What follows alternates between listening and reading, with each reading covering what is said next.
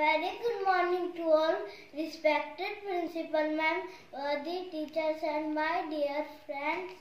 Today I, Shorya Chan of class first C, will talk about Republic Day. India became a republic on 26 January 1950. Thus, this day is celebrated as Republic Day. The main function is held at Rajpath in New Delhi. The armed force, police, school, children and folk dancers take part in a special parade.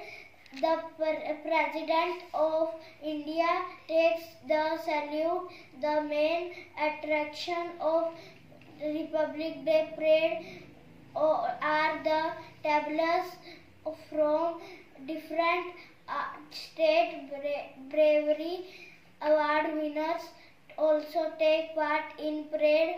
Jai Hind, Vande.